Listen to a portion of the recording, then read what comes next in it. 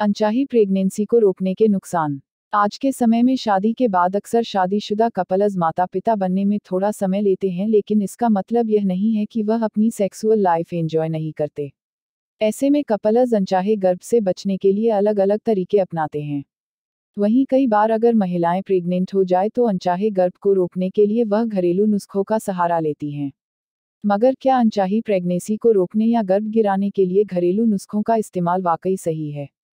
घरेलू नुस्खे, दवाइयाँ या जड़ी बूटियों द्वारा द्वारा प्रेगनेंसी रोकना आपकी सेहत को नुकसान पहुँचा सकता है। भले ही सदियों से प्रेगनेंसी रोकने के लिए घरेलू नुस्खों का इस्तेमाल होता आ रहा हो लेकिन सेहत के लिहाज से यह बिल्कुल भी ठीक नहीं है।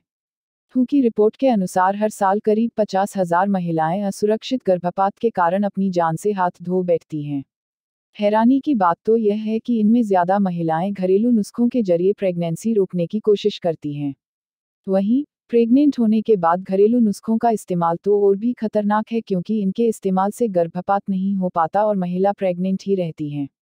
अगर आप बच्चा नहीं चाहती तो खुद से दवा या घरेलू नुस्खे ट्राई ना करें बल्कि किसी अच्छे डॉक्टर से जाके इस बारे में बात करें। अनचाही प्रेगनेंसी में फ़ायदेमंद है ये चीज़ें।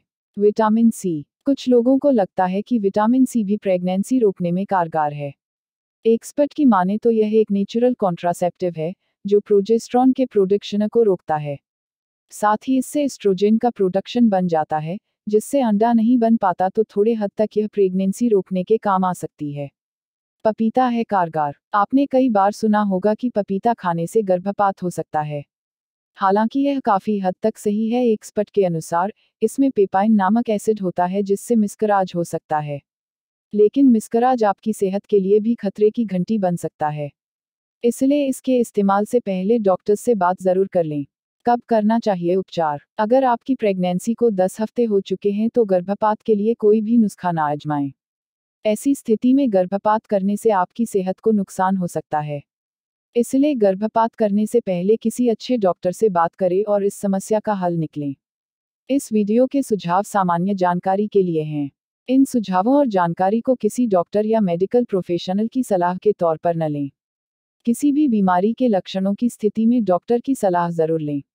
हमारा यह वीडियो पसंद आया हो तो अभी हमारी वीडियो लाइक करें, शेयर करें और हमारा Hashmi dot com channel subscribe करें। धन्यवाद।